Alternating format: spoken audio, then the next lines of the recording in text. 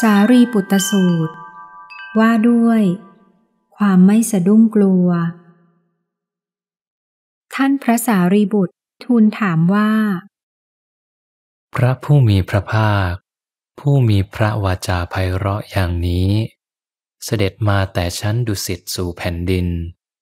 ข้าพระองค์ยังไม่ได้เห็นหรือไม่ได้ยินต่อใครๆ ในการก่อนแต่นี้เลย พระองค์ผู้มีพระจักสุย่อมปรากฏแก่มนุษย์ทั้งหลาย เหมือนปรากฏแก่โลกพร้อมด้วยเทวดา พระองค์ผู้เดียว บรรเทาความมืดได้ทั้งหมด ทรงถึงความยินดีในเนคขมมะ สิทธิ์ทั้งหลายมีกษัตริย์เป็นต้นเป็นอันมาก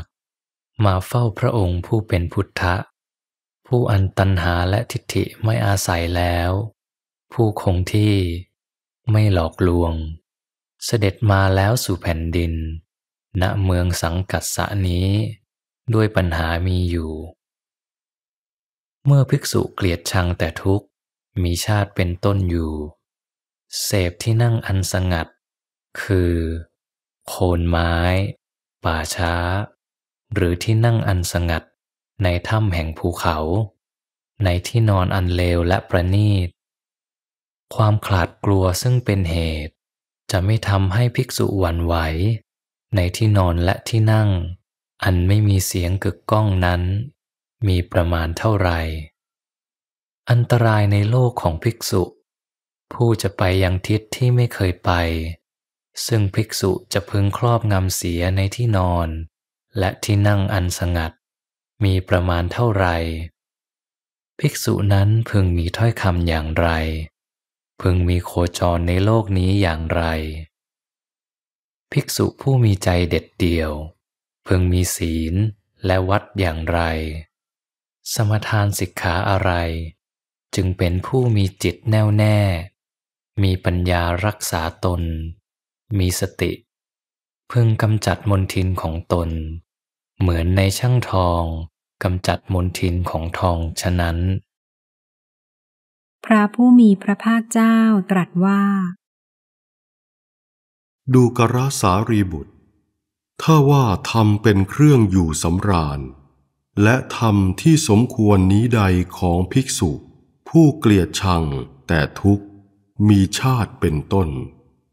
ผู้ใคร่จะตรัสรู้ เสพอยู่ซึ่งที่นั่งและที่นอนอันสงัดมีอยู่ไซ เราจะกล่าวธรรมเป็นเครื่องอยู่สำราญ และธรรมที่สมควรนั่นตามที่รู้แก่เธอ ภิกษุผู้เป็นปราดมีสติ ประพฤติอยู่ในเขตแดนของตน ไม่พึงกลัวแต่ภัยห้าอย่าง คือ เหลือบ ยุง สัตว์เลื้อยคลานภาษะแห่งมนุษย์ สัตว์สี่เท้า ภิกษุผู้สแสวงหากุศลธรรมอยู่เนืองเนือง ไม่พึงสะดุ้ง แม้ต่อเหล่าชน ผู้ประพฤติธรรมอื่น นอกจากสหธรรมิก แม้ได้เห็นเหตุการณ์อันนำมาซึ่งความขลาดเป็นอันมากของชนเหล่านั้น และอันตรายเหล่าอื่น ก็พึงครอบงำเสียได้ ภิกษุอันภาษะแห่งโรค คือ ความหิว เย็นจัด ร้อนจัด ถูกต้องแล้ว พึงอดกลั้นได้ ภิกษุนั้นเป็นผู้อันโรคเหล่านั้นถูกต้องแล้ว ด้วยอาการต่างๆ ก็มิได้ทำโอกาสให้แก่อภิสังขารเป็นต้น พึงบากบั่นกระทำความเพียรให้มั่นคง ไม่พึงกระทำการขโมย ไม่พึงกล่าวคำมุสา พึงแผ่เมตตาไปยังหมู่สัตว์ทั้งที่สะดุ้งและมั่นคงในการใด พึงรู้เท่าความที่ใจเป็นธรรมชาติขุ่นมัวในการนั้น พึงบรรเทาเสีย ด้วยคิดว่า นี้เป็นฝักฝ่ายแห่งธรรมดำ ไม่พึงรู้อำนาจแห่งความโกรธ และการดูหมิ่นผู้อื่น พึงขุดรากเหง้าแห่งความโกรธ และการดูหมิ่นผู้อื่นเหล่านั้นแล้วดำรงอยู่ เมื่อจะครอบงำก็พึงครอบงำความรัก หรือความไม่รักเสียโดยแท้ ภิกษุผู้ประกอบด้วยปีติอันงาม มุ่งบุญเป็นเบื้องหน้า พึงข่มอันตรายเหล่านั้นเสีย พึงครอบงำความไม่ยินดีในที่นอนอันสงัด พึงครอบงำธรรมอันเป็นที่ตั้งแห่งความร่ำไรทั้งสี่อย่าง ผู้เป็นเสขะไม่มีความกังวลเที่ยวไป พึงปราบวิตกอันเป็นที่ตั้งแห่งความร่ำไรเหล่านี้ว่า เราจักบริโภคอะไร หรือว่า เราจักบริโภคที่ไหน เมื่อคืนนี้เรานอนเป็นทุกนักค่ำวันนี้เราจักนอนที่ไหน ภิกษุนั้นได้ข้าวและที่อยู่ในการแล้ว พึงรู้จักประมาณ เพื่อความสันโดษในศาสนานี้ ภิกษุนั้น คุ้มครองแล้วในปัจจัยเหล่านั้น สำรวมระวังเที่ยวไปในบ้าน ถึงใครๆด่าว่าเสียดสี ก็ไม่พึงกล่าววาจาหยาบ พึงเป็นผู้มีจักสุทอดลง และไม่พึงขนองเท้า พึงเป็นผู้ขวนขวายในฌาน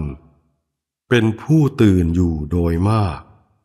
ปรารบอุเบกขา มีจิตตั้งมั่นดี พึงตัดเสียซึ่งธรรมเป็นที่อยู่แห่งวิตกและความขนอง ภิกษุผู้อันอุปัชายะเป็นต้น ตักเตือนแล้วด้วยวาจา พึงเป็นผู้มีสติยินดีรับคำตักเตือนนั้น พึงทำลายตะปูคือความโกรธ ในสัพพมจารีทั้งหลาย พึงเปล่งวาจาอันเป็นกุศล ไม่ให้ล่วงเวลา ไม่พึงคิดในการกล่าวติเตียนผู้อื่น ต่อแต่นั้น พึงเป็นผู้มีสติ ศึกษาเพื่อปราบทุลีห้าอย่างในโลก ครอบงำความกำหนัดยินดี ในรูป เสียง กลิ่น รสและผัสสะ ครั้นปราบความพอใจในธรรมเหล่านี้ได้แล้ว พึงเป็นผู้มีสติ มีจิตหลุดพ้นด้วยดี พิจารณาธรรมอยู่โดยชอบ โดยการอันสมควร มีจิตแน่วแน่ พึงกำจัดความมืดเสียได้ จบ สารีปุตตสูตร